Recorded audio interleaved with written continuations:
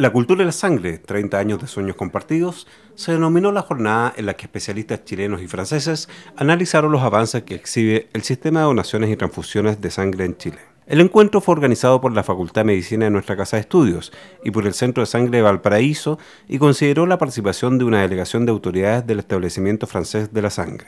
La delegación estuvo integrada por su presidente, el director de Asuntos Internacionales de dicho organismo y por el director del EPS de la ciudad de Reims. En la ocasión, los participantes reiteraron la importancia de continuar impulsando la cooperación conjunta en este campo, para darle continuidad a una relación que ha permitido fortalecer la medicina transfusional en Chile. Ellos están acá en Chile ayudando a la formación de los bancos de sangre desde hace ya varios años.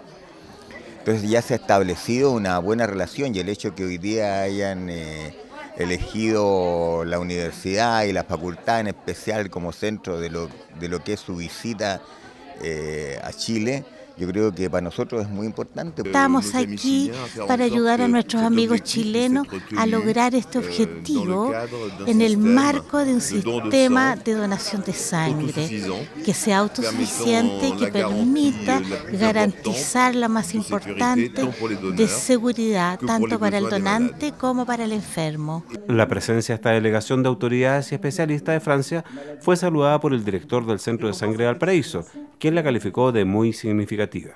Los establecimientos de sangre francés están cooperando y trabajando con nosotros hace más o menos 30 años ya.